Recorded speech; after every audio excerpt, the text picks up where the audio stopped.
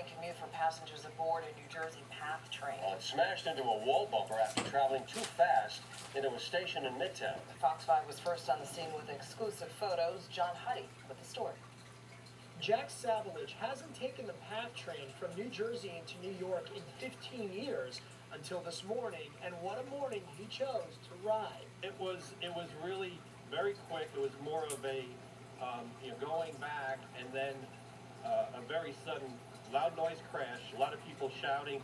Heard myself shout. Jack was among 14 others injured when a brand new Hoboken 33rd Street bound train rammed into the end of the line bumping block at the 33rd Street station around 8:15 this morning. The train's conductor and two Port Authority employees were also hurt.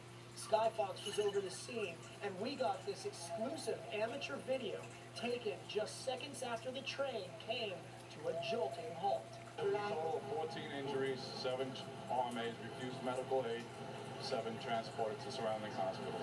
Neck and back, minor injuries at this time. The accident caused delays on the Hoboken and Journal Square path line, along with lousing of traffic between 33rd all the way up to 35th here on 6th Avenue. And also causing delays on the city's bus lines between 33rd and 35th Streets. By noon, though, the PATH trains were back on schedule as officials investigated the cause of the accident. As for Jack Savalich, he banged up his knee a little bit, but was otherwise okay. And he says he'll probably ride the PATH train again, just not tonight. There were a bunch of us going out to dinner tonight, and uh, I normally drive in. And they told me uh, that if we're going to be drinking some wine, best for safety, that that you take a cab home. So I took the path today for safety. How are you going to get home tonight?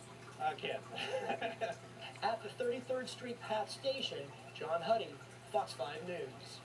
As we continue at 10 tonight, TV baseball experts